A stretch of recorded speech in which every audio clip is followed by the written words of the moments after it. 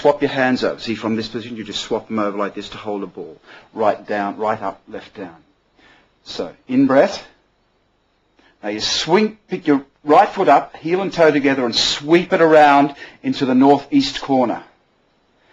Only the heel touching. Now both toes come off the ground as you swivel around into the corner and chop upwards like this. Out breath.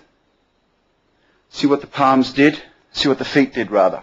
So it's an in breath, swing your foot around, and at this point the heel and the toe again should be in, a, in an east-west line. From here you're going to do lift hands again. So you turn your left foot back because your left foot has come around. You see, you turn it back 45 degrees, open your hands like wings, just like you did in the beginning.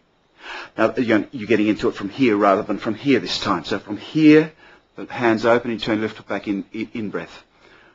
Breathing out, as it catches up with your right foot, your foot comes up, and drop it into the on guard position again. No weight on that front foot, exactly like you did before. Again, exactly like in the beginning, you pull your hands down, in breath, you do the shoulder press, exactly like we did in the first third. Stork spreads wings, no difference holding the ball on the right, brush knee twist step. There's no difference here than we did in the first third. This is the first time where we get to do something different.